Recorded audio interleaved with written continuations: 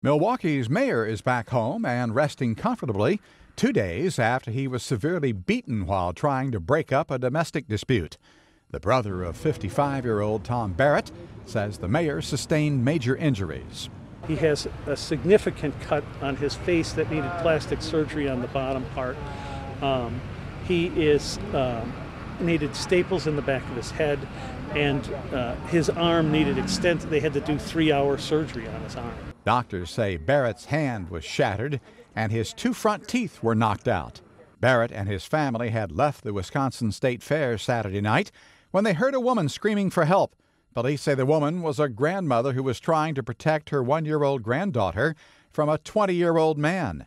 Barrett tried to calm the situation and call 911. And the assailant knocks the phone out of his hand and then stomps on the phone. He's stomping on the phone, and Tom's like, you know, take it easy, calm down, things will be. Barrett's brother says the man punched the mayor in the stomach, then hit him with a police baton. However, police say it was actually a metal pipe. Barrett's brother says despite the violent, unprovoked attack, the mayor remains upbeat.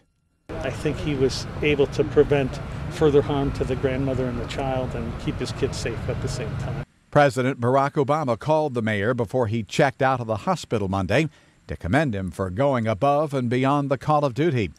According to the White House, Obama told Barrett that he was proud of his selfless act of courage.